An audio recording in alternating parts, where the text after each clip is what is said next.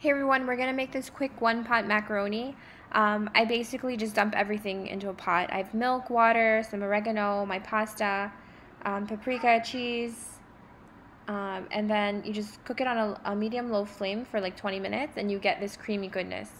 It is really good and it's for nights when you need something and you're hungry and uh, you don't have time to cook. Hope you try it.